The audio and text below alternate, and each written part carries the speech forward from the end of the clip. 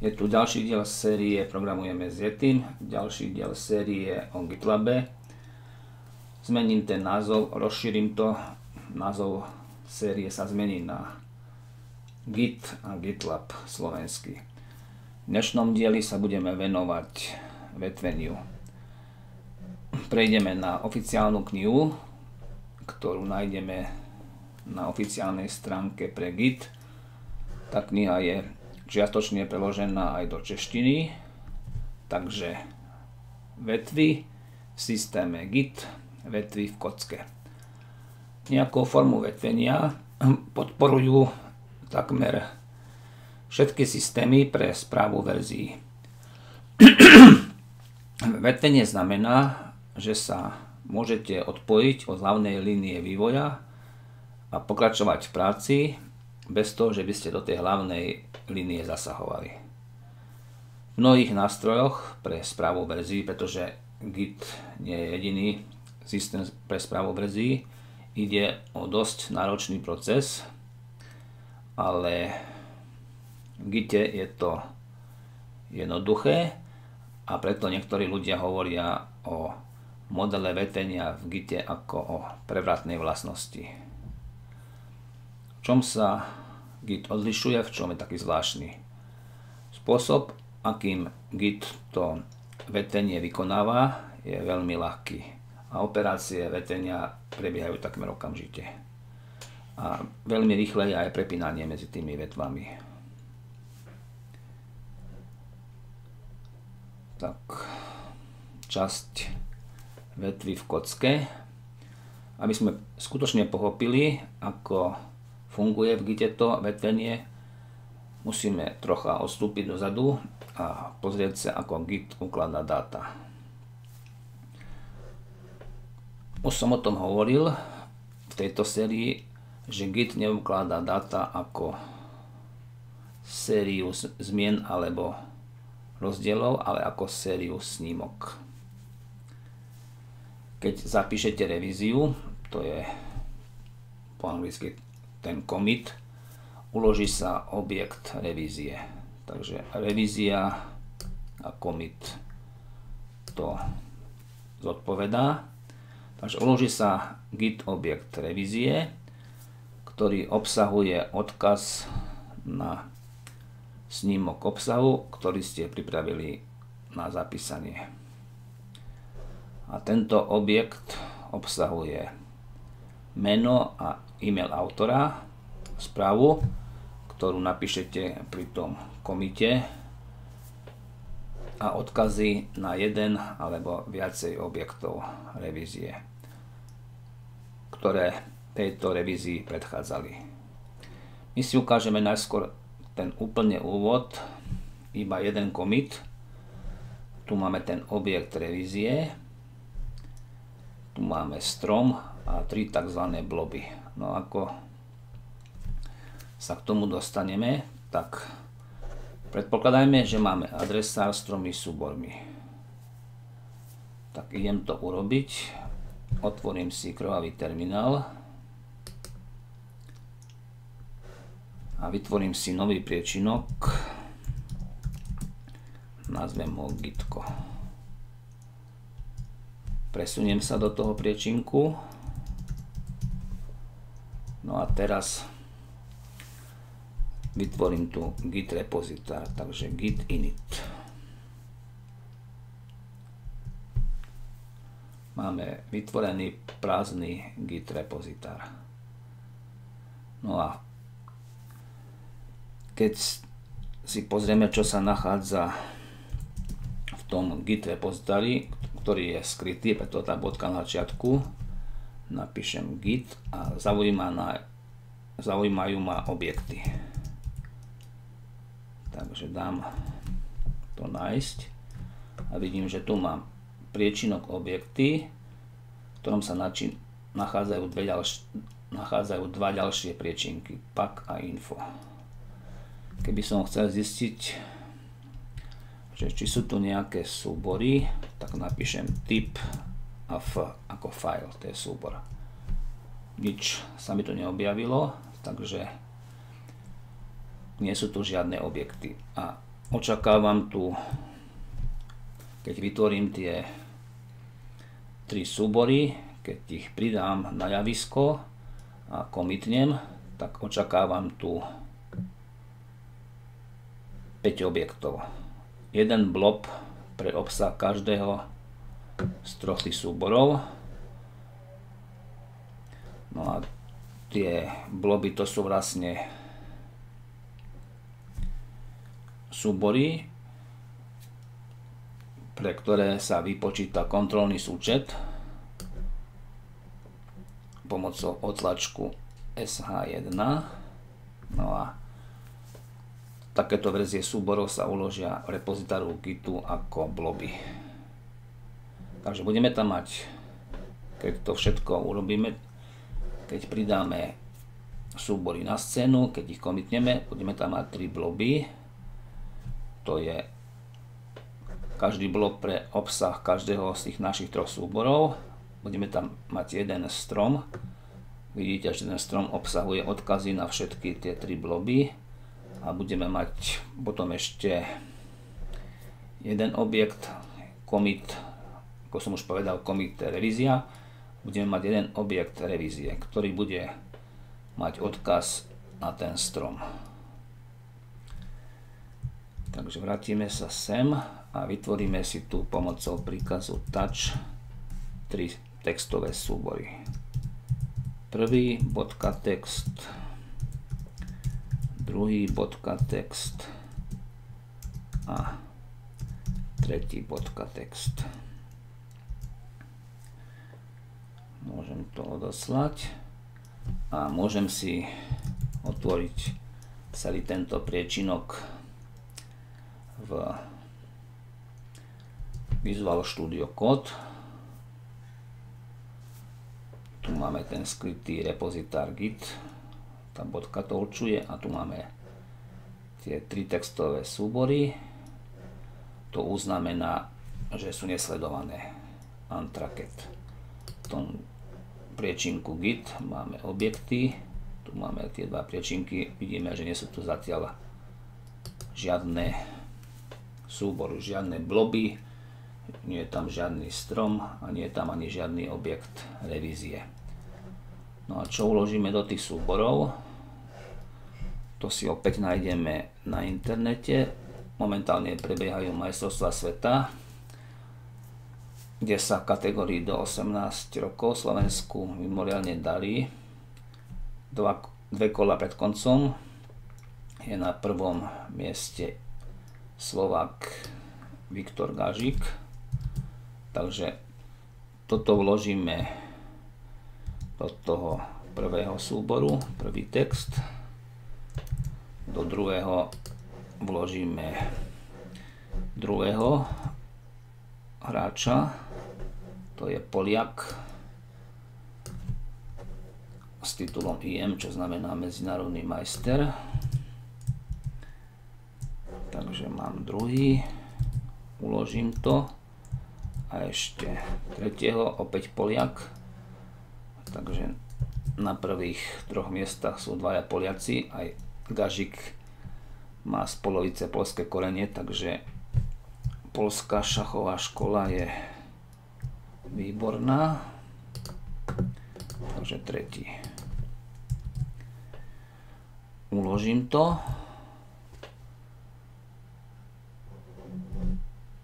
keby som si teraz pozrel, že či sa tam už niečo objavilo v tých objektoch, nejaké súbory, dávam šipku hore, stále tam nič nie je.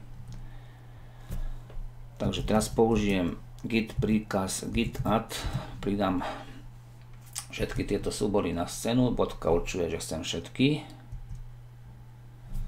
Keď si dám teraz git status, tak vidím, že sú pripravené tie súbory na komitnutie.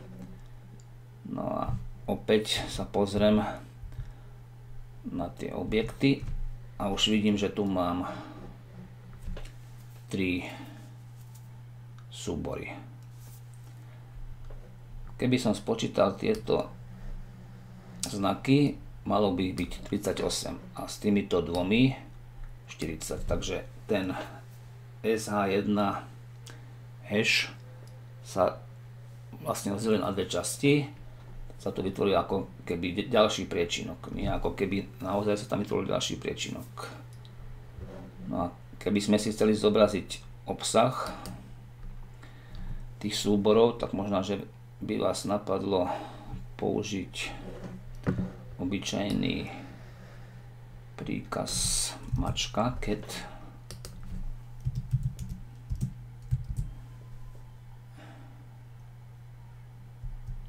a vidíme, že tu máme text, ktorý sa nedá čítať. Tu nám pomôže git. A ten má príkaz get file. A teraz si kopírujeme toto.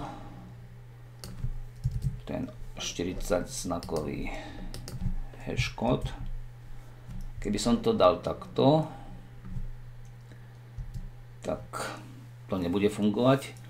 Musím tam urobiť z toho jednak jeden reťazec to znamená zbaviť sa toho lomitka a jednak použiť nejaký, nejakú vlajku.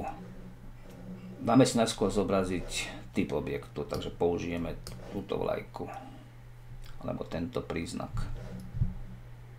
Takže dám to znovu a dám tam ten príznak. Takto by to nemalo fungovať. Našiel sa validný objekt.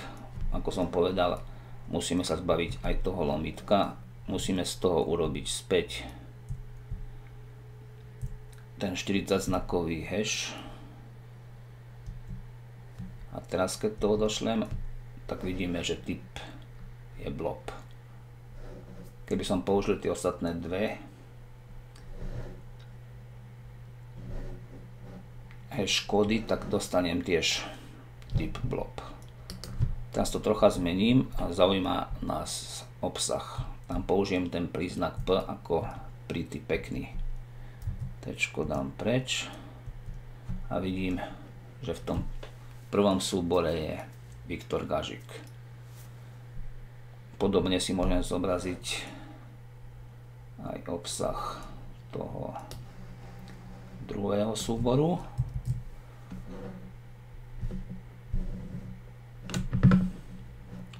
Takže toto musím vymazať som si zrýchlil kurzor, obyčajne to takto rýchlo nejde. Teraz sa presuniem na to lomitko. A tu by mal byť ten Simon Gumulaš. Dobre. No a aby to bolo úplne, dáme si aj ten tretí súbor.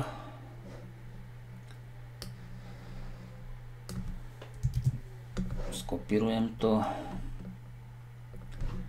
Vymažem. Trocha som pribrzdil. Teraz rýchlo sa presunúť k tomu lomitku. Zmazať ho. A máme tu aj tretieho Igora Janika. Ale stále máme len tri objekty pretože sme ešte neurobili commit urobíme git commit M ako message správa. Tá správa bude medzi úvodzovkami a dáme prvý commit, alebo aby sme použili tú českú verziu, prvá revízia. Odošlem to. No a dám si git status. A vidím, že nemám čo komitnúť, ten strom, pracovný strom je čistý. Teraz si dám opäť nájsť objekty, možno, že bolo jednoduchšie to, už som tam tuším, dobre, toto je to správne. A mám tu 2, 4, 5, už tu mám 5 objektov. Keď si pozriem, ktoré som mal predtým, a1, D8 a 6A. 6A a 1D8. Takže si pozrieme, čo je tento objekt. Ten tretí. 81. To som dosiaľ nepozeral. Tak použijem ten git.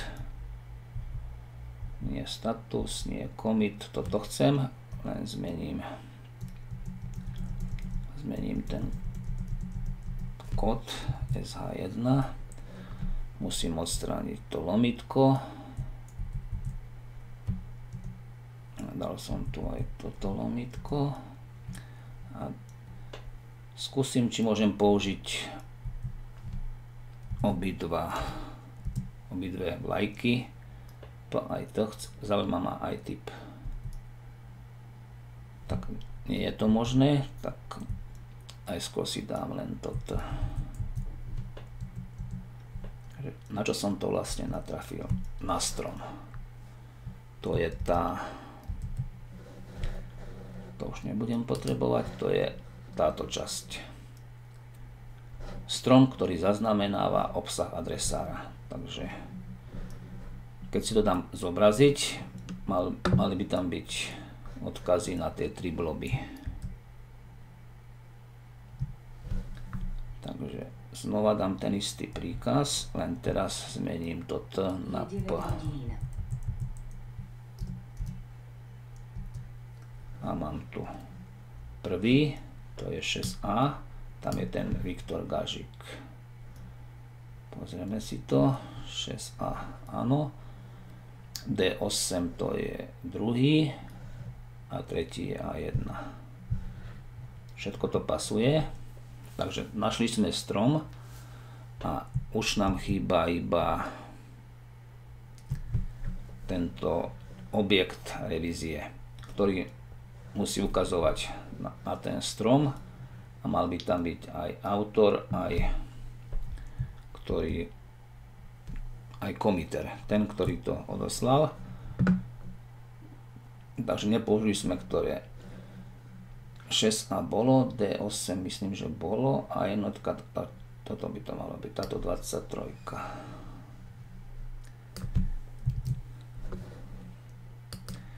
Takže opäť ten istý príkaz.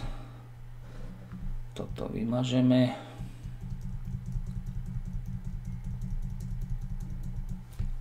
A zmeníme to meno, odstraníme tu to lomitko a dáme si najskôr typ zobraziť. Takže mali sme blob, mali sme strom, ten blob bol niekde vysoko, vysoko. Tu je blob. Tri bloby, jeden strom. A teraz pozrieme, čo budeme mať teraz. Teraz máme ten objekt komitu. Zaujíma nás aj jeho obsah. Tak tam dáme P ako pretty, ako pekné zobrazenie obsahu. A vidíme, tu máme ten commit, to je tá správa, ktorú som napísal za tým M-kom. Skúsim to nájsť, tu je to. Prvá revízia, prvá revízia. Tu máme autora. Autor aj komiter je ten istý. Môžeme si to ešte ukázať aj v Visual Studio Code.